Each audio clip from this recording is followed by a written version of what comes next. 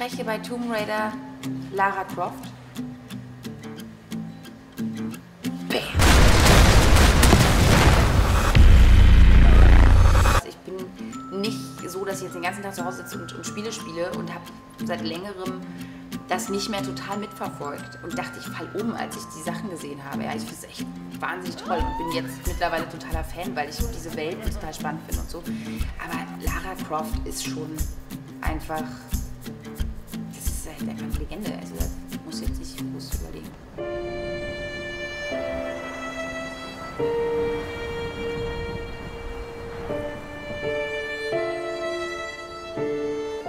Ist okay.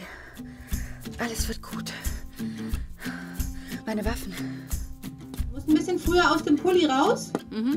und ähm, das alles wird gut ein bisschen später. Okay.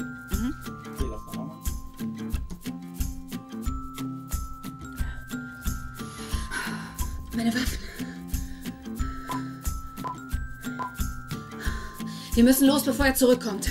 Meine Rolle ist die Regisseurin.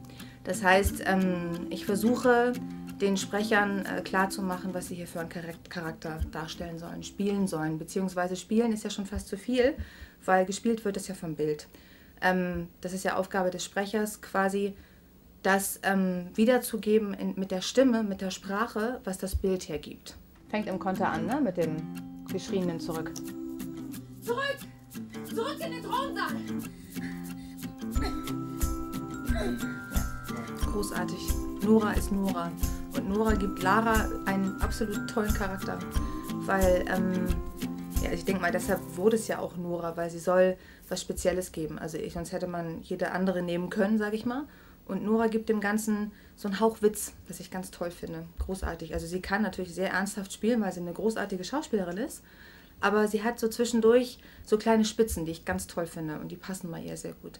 Und da Lara jetzt ja erst 21 ist und halt noch nicht dieses Kämpferische drauf hat ähm, oder auch noch nie gekämpft hat, noch nie irgendwie Verluste gespürt hat, ähm, hat sie diesen naiven Ton ganz toll drauf.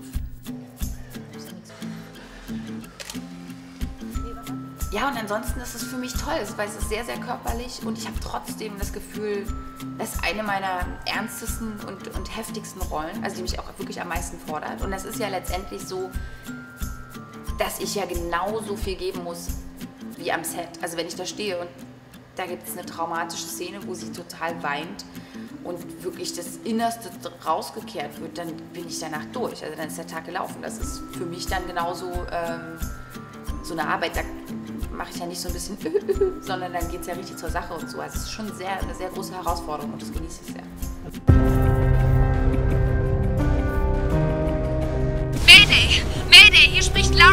Von der Endurance. Wir sind auf einer Insel im Drachendreieck gestrandet. Wir brauchen Hilfe und auch Medizin. Bitte antworten.